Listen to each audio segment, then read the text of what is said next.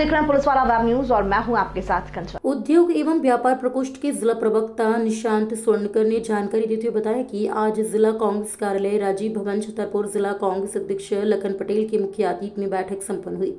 प्रवक्ता निशांत स्वर्णकार ने जानकारी देते हुए बताया कि कांग्रेस पार्टी उद्योग और व्यापार प्रकोष्ठ जिलाध्यक्ष हरीश लालवानी की अध्यक्षता में बैठक आयोजित की गई, जिसमें कार्यकारिणी घोषित कर जिला कांग्रेस अध्यक्ष लखनलाल पटेल एवं प्रवक्ता संतोष तिवारी के द्वारा नियुक्ति पत्र आवंटित किए गए हैं।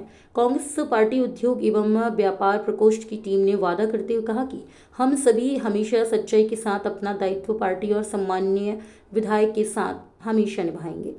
आगे जानकारी देते हुए बताया कि कार्यकारिणी की प्रथम सूची में पाँच तहसील अध्यक्ष, पाँच उपाध्यक्ष, चार सचिव, पाँच सचिव, दो कोषाध्यक्ष, एक जिला समन्वयक और एक प्रवक्ता, दो आईटी सेल, दो मीडिया प्रभारी और एक कानून सलाहकार। एक कर सलाहकार, तीन कार्यकारिणी सदस्य बनाए गए हैं। इन्हीं सभी सम्मानित पदाधिकारी को आज नियुक्ति पत्र आवंटित हुए हैं। तो वहीं आज के इस कार्यक्रम में जिला कांग्रेस अध्यक्ष लखनलाल पटेल, जिला प्रवक्ता संतोष तिवारी ने सभी पदाधिकारी को बधाई देते हुए उद्योग एवं व्यापार प्रकोष्ठ कांग्रेस पार्टी की टीम को सर्वश्रेष्ठ भविष्य की शुभकामनाएँ दी और यह भी कहा कि व्यापारी पार्टी की रीढ़ की हड्डी होती है। इसलिए आप सभी लोग कांग्रेस पार्टी के कार्यक्रम और नीतियों को आम जनता तक पहुंचाकर ज़िले की सभी सीटों को जिताने में अपनी अग्रिम भूमिका ज़रूर निभाएँ। सरकार बनती है तो टैक्स विरोधी जो नीति है बनी है, जितनी जटिलता है, क्या उसके जो सरकार बनेगी तो क्या उसमें कुछ व्यापारियों को राहत होगी? बिल्कुल, हम पूरी कोशिश करेंगे, हमारी सरकार बिल्कुल जैसे ही बनेगी, और मुझे पूरी उम्मीद है कि इस बार हमारे श्री कमलनाथ जी की सरकार बनने वाली है और बनेगी ही, और मैं स्वयं सभी के साथ, हमारे माननीय कमलनाथ जी के पास जाऊँगा सरकार बनने के बाद और सरकार बनेगी ही। और जो भी हमारे व्यापारियों के लिए जो भी कष्ट है जो भी भाजपा की जो भी नीतियाँ हमारे व्यापारियों के लिए कष्टदायक हैं उन नीतियों को मैं दूर करने की पूरी कोशिश करूँगा उनसे निवेदन करके। सर जिस प्रकार आपको पता हो व्यापारी जो है वो रीढ़ की हड्डी होता है सरकार की। तो अभी जैसा कि माना जा रहा है कि व्यापारी रुष्ट है उस विषय में कुछ कहेंगे?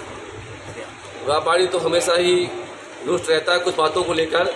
लेकिन हम सभी ये कोशिश करेंगे कि आगामी आने वाले दिनों में हमारे व्यापारी आ, हमारे कांग्रेस की नीतियों के साथ हमेशा स्वस्थ रहें और प्रसन्न रहेंगे। धन्यवाद।